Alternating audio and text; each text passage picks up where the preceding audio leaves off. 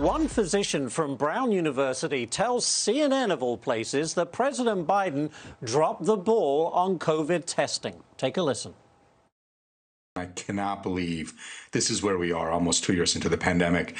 Uh, everybody saw it coming. We knew we needed more tests. I think the administration had dropped the ball on this.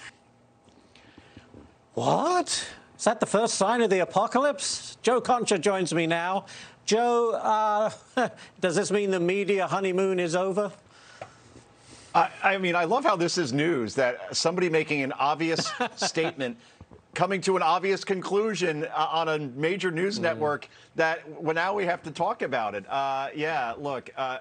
Uh, Candidate Biden uh, slammed then President Trump on not having a plan to control the virus, the word he used, control. Biden said he had a plan to mm-hmm. stop it. Again, that word he used, stop. And that's utterly ridiculous, but enough people actually bought it. And now we're seeing some folks, uh, particularly in media, surprised that Joe Biden after a year, a year to prepare for this moment, even after a couple months after, what was it, Vanity Fair had that report uh, saying, hey, there's going to mm. be this winter surge. We probably should also surge our testing. And apparently, this administration, this president rejected uh, that, that plan, uh, that, that somehow we can't call this an utter and complete failure because it was when it comes to testing. And look, all the spin in the world, Ashley, doesn't matter because you go out to your local store and there's a lot of urgent cares that are popping up, uh, particularly in strip malls uh, yeah. in this country. Uh, and we see the lines, right? And they go for lock, blocks right. and blocks. And if we're not going out, we see it on our phones. Either way, media can spin this all they want or try to cover for this president,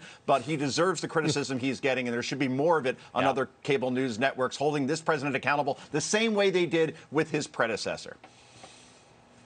All right, Joe, this is another one for you to chew on. Social media users demanding an apology from Rachel Maddow uh, and MSNBC after the Liberal host said back in March that, hey, vaccines would bring an end to the pandemic. Listen to this. Now we know that the vaccines work well enough that the virus stops with every vaccinated person. A vaccinated person gets exposed to the virus. The virus does not infect them, the virus cannot then use that person to go anywhere else. It cannot use a vaccinated person as a host to go get more people. That means the vaccines will get us to the end of this.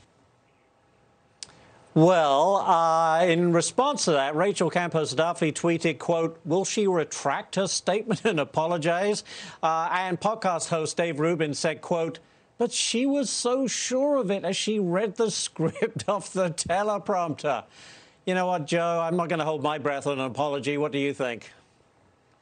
Never in a billion years because we've seen this movie before. you know, Rachel Maddow was so definitive yeah. there, right? Er, particularly with all these, you know, hand gestures that, that I will never use in doing segments like these. Uh, look, uh, Ms. Maddow is the highest rated host on MSNBC, which is like being the, you know, the skinniest kid yeah. at fat camp these days. And, and she's also the highest paid. And therefore, that gives her tremendous power within that network, more than any producer or executive, quite frankly. And what that, what that allows is for her to say whatever she wants, regardless of whether it's true or not. We saw it in the movie I saw before was three years of a majority of her program being dedicated to Trump-Russia collusion. And again, not alleged, yes. not she's exploring the story, presented as fact, and she never apologized for it because her bosses never asked her to apologize for it. So, yeah, look, most media reporters are allergic to holding her accountable. Fact checkers stay away as well because they both line up with her ideologically. It's a nice existence to have in this business. If you can get it, say whatever you want and no scrutiny. Wow, go figure.